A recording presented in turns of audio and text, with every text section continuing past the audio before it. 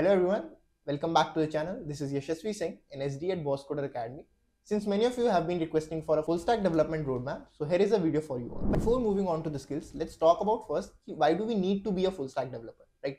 क्या नीड है हमें एक फुल स्टैक डेवलपर बनने की ऑल हमारे हम फ्रंट एंड डेवलपर्स बन सकते थे हम बैक एंड डेवलपर्स बन सकते थे right we could have managed something out of it but हम फुल स्टैक क्यों लर्न कर रहे हैं right so at current market is very very different so companies expect करती हैं कि हमारे डेवलपर्स को front end back end cloud security architectures right and every other thing आनी चाहिए सो दैट कंपनीज को फायदा हो so that's the main reason why we look into full stack development why we learn full stack development okay again as personal perspective as well you know it helps us to you know have knowledge about different things the back end the front end different technologies different frameworks different libraries so ये हमारी career growth में भी बहुत help करता है। At some point of time of we would have to learn all of the skills so rather than learning them afterwards okay if we start with full stack development from very scratch only then it would be much more beneficial that's the main reason why we learn full stack development और why we talk about full stack development now let's move to the skills part कि हमें क्या क्या skills चाहिए और क्या एक road map होता है जो हमें हेल्प करता है एक फुल स्टैक डेवलपमेंट में जॉब पाने के लिए। बहुत सारी वीडियोस हैं यूट्यूब पे जो बात करती हैं कि road map to full stack development you get this you can do this you can do that but कोई भी ये बात नहीं करता कि how relevant those skills are right क्या हमें ये स्किल्स करने की ज़रूरत है? Will this skills get us a job right so we can talk about what are the most important skills, most art skills, जिनकी मार्केट बहुत ज़्यादा इंडिया में एंड जिनकी डिमांड भी बहुत है. So let's dive in. So starting on with the very first thing that you require to be a full stack developer is programming language. So हमें first of all सबसे basic चीज़ clear होनी चाहिए कि हमें कौन सी प्रोग्रामिंग लैंग्वेज में आगे डेवलपमेंट करनी है, ठीक? So if you ask my personal opinion about which language you should start if you are starting from very scratch तो मैं सजेस्ट करूँगा कि हम जावास्क्रिप्ट के साथ जाएँ।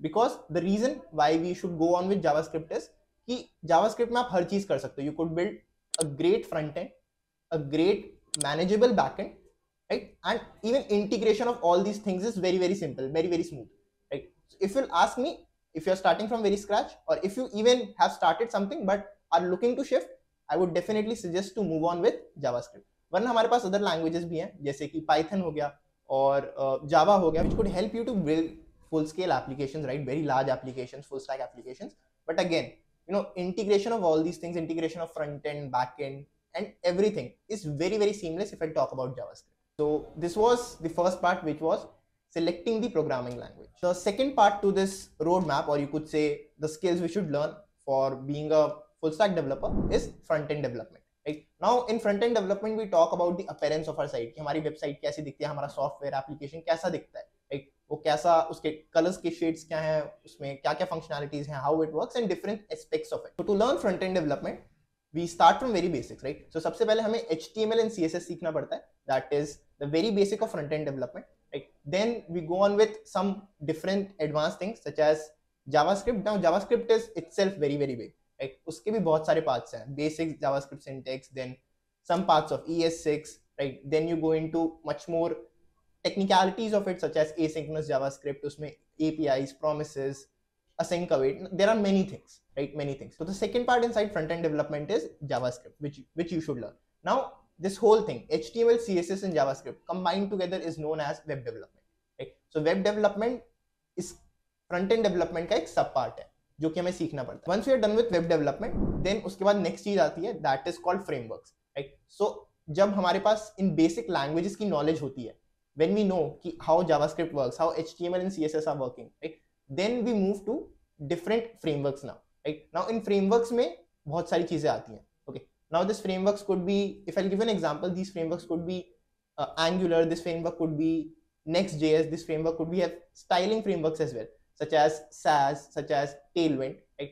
So the next part to this front end development is frameworks, जिसमें हम different चीज़ों को build करते हैं. This is a better way of creating softwares. मतलब with the help of frameworks हम बहुत बड़े softwares बहुत easily बना सकते हैं, right? And I just gave you example, few of these examples, right? React, Vue.js, Next.js, right again we have styling frameworks all of that so this was the fourth part inside front end development Which was frameworks right moving forward with frameworks once you are done with frameworks then we talk about something called version control right so if i'll give you an example of what version control is i hope you guys would have heard of something called git or github right so git or github से हम अपनी code repositories को manage करते हैं हम देखते हैं कि हमारा कोड कहाँ और कैसे सेव हो रहा है और हम उसे लोकली एक्सेस कर सकते हैं और अपडेट कर सकते हैं so if you are a front end developer so this Git version thing और this Git thing is a very mandatory thing right जब भी हम फ्रंट एंड डेवलपर के बारे में बात करते हैं फ्रंट एंड डेवलपमेंट के बारे में बात करते हैं so this thing is very very important this was the last part in front end development which was version control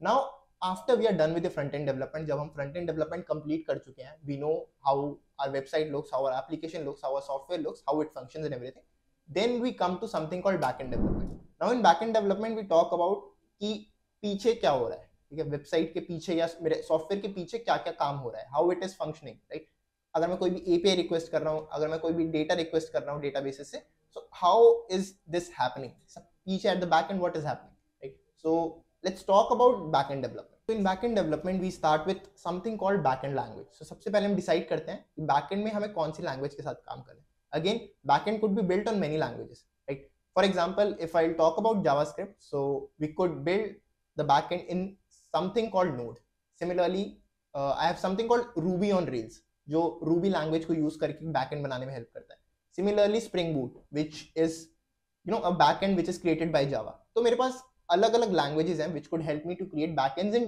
different technologies, right? In different ways, right? So as again suggested by me, you could go on with JavaScript, okay, create your backend in Node, which is very easy to understand, right? Very easy to integrate from front end as well. Again, of course, there are other ways of other ways as well, right? Other languages as well, which would help you to do the same things, but they would be a bit more complex than this. So this was the first part that was language selection for backend development. The next part in backend development is web frameworks. So in web frameworks, we talk about different frameworks again, which helps you to build backends. Okay, I give you just a few examples right now. Node, which could help me to, you know, build JavaScript applications. Again, there is a framework which is derived out of Node, which is called Express.js. So which could help you to build this backend so these are some frameworks, right? Again, I gave an example of Spring Boot, which is a framework of Java. So again, there are many, many choices from which you could select. You could, you know, examine whatever your uh, need is, whatever your functionality is, and which language you are most comfortable with. So I gave you the reference to JavaScript, which is the easiest one to integrate, easiest ones to work with. So you could choose that, or if you want something else, if you want to work with Java, if you want to work with uh, Ruby, if you want to work with Python, again, there are many frameworks. So you could work with them. So the second part here in backend development was framework selection. Select the framework and build the backend. So the third part in backend development is called databases. So databases plays a very important role. जितना भी हमारा data होता है जो एक website में stored है एक हमारे सॉफ्टवेयर या एप्लीकेशन में स्टोर्ड है वो सारा डेटाबेसेस से आता है so databases play a major role when we are working with any kind of software right हर चीज़, आज के दिन हर चीज़, हर एक वेबसाइट हर एक एप्लीकेशन हर एक सॉफ्टवेयर हर एक ऐप हर चीज़ डेटा से चल रही है। So working with database setting up a database is super super important whenever we talk about back end development तो database is divided into two types one is called SQL and other one is called no SQL या हम ये भी कह सकते हैं कि in one of the form we store data in a tabular format and in another we store it in a JSON format and it also depends on use cases हमारा क्या यूज़ केस है? हम क्या करना चाह रहे हैं अपने डेटा से? How we are gonna store it how we are gonna manage it how we gonna play with it हम क्या करना चाहते हैं? फेच करना चाहते हैं? अपडेट करना चाहते हैं? डिलीट करना चाहते हैं? किस तरीके से स्टोर करना चाहते हैं? किस तरीके का डेटा स्टोर करना चाहते हैं? So all of these things play a very major role in deciding what kind of database we have to use. So this was the third part that was about databases. Moving on to the next part and the last part for backend development that is authorization and authentication. So authorization and authentication is again very important in terms of security. जब भी हम एक backend build करते हैं so we want कि हमारा data secure रहे हमारे डेटा का ट्रांसफर सिक्योर रहे so to get this to secure our data properly to send and receive our data in a secure manner, we use something called authorization and authentication. I hope you guys would have heard of two authentication feature from Google, right? जहाँ पे हमें एक message आता है a text message which tells us a code and we enter that code to log in into a Google account. So that is something called authentication and authorization. So similarly, we do the same thing whenever we develop a backend. We apply some similar kind of functionalities to our backend so that हमारे data का transfer or even fetching updating, everything is managed in a secure way. Okay, that is done by this authorization and authentication. So this was the last part of authorization and authentication inside backend development. So moving on to the third part that is APIs and third party integration. So we already know what APIs are, how do they work, what they are needed for. So अगर हम third party integrations की बात करें कि what are third party integrations? So third party integrations are you could say apps, libraries, softwares which you join with your front end and back end. जब भी हम एक सॉफ्टवेयर बनाते हैं तो हम इनको ज्वाइन करते हैं अपने ऐप के साथ और अपने सॉफ्टवेयर के साथ ताकि हमारी कुछ फंक्शनैलिटीज इंप्रूव हो जाए okay if I give you few examples so we have something called GraphQL जो कि हमारी एपीआईज को अच्छी तरीके से और ऑप्टिमाइज तरीके से फेच करने में हेल्प करता है also we have something called Kafka जो कि हमारे ऐप को और ऑप्टिमाइज करने में और सिक्योरिटी में बहुत हेल्प करता है so we have these different things which helps us in different ways to perform or optimize our software, optimize our app in a much more better way, adding a few more functionalities to it. Also, we have other things which helps you to optimize the efficiency of our app.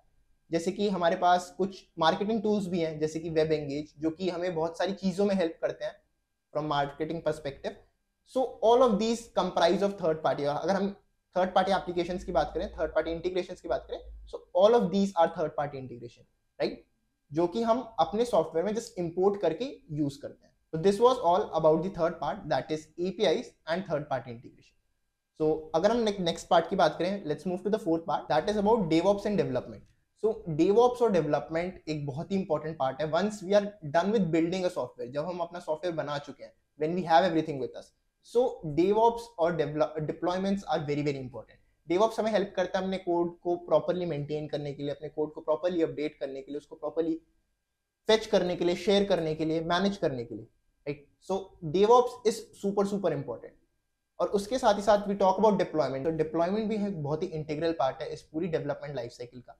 जो कि हमें help करता है अपने software को, अपने application को live करने में। So that these application software are accessible to us from web right so it is super important this deployment part is also super important in this whole full stack development road map okay and it plays a major and integral role है तो this was the fifth part that is DevOps and deployment moving on to the last part in this full stack development road map we have a few tools a few additional skills that you require right of course these were all the things that you required to be a full stack developer right? But knowledge of a few more tools. agar hame kuch और tools ke bare mein pata hai such as a few, to, some tools related to testing right? Some libraries related to testing. So ye hamare hame aur upskill hone mein bahut help karte hain these things make a very positive impact as a full stack developer. So learning these skills having knowledge about these skills is super super important if you are looking for a full stack role. This was the last part. That was additional skills and some other tools. This was it for this video. If you found the video helpful, hit the like button